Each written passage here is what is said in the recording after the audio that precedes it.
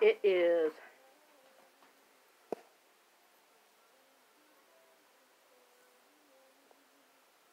nine a.m. nine o one a.m.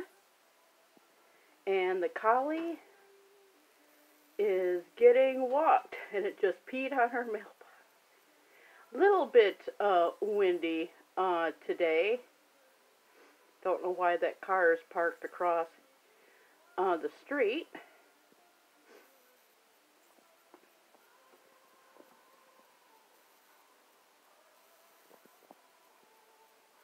Little bit windy today. See if it's still there. Yes.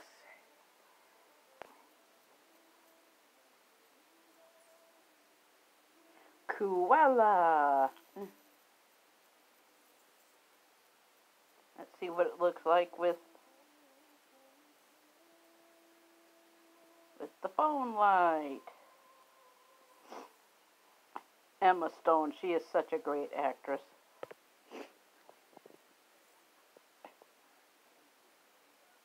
Spooky Town. Spooky Town. That is so cool. I just thought that that would be cool to show. And I don't know why the car was there, but as you can see, the car is gone. Here's two of my favorite uh, actors, actors, George Clooney and Angela Lansbury from Murder, She Wrote and Bedknobs and Broomsticks. I'm calling this Sunday paper late. Better late than never. I also love Sandra O. Oh. But I was not sure of Steve Carell at first. I didn't really um, know his comedic style because the first movie I saw him in was uh, Bewitched uh, with Will Ferrell and Nicole Kidman.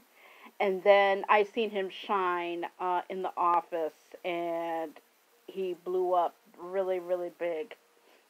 But I'm not going to show you uh, my breakfast uh, today. It's just two waffles with butter and strawberries, and one pancake with butter and strawberry sauce, and some jalapenos. So I am Kerry Knauf, your host, and I'll see everybody next time. Bye bye.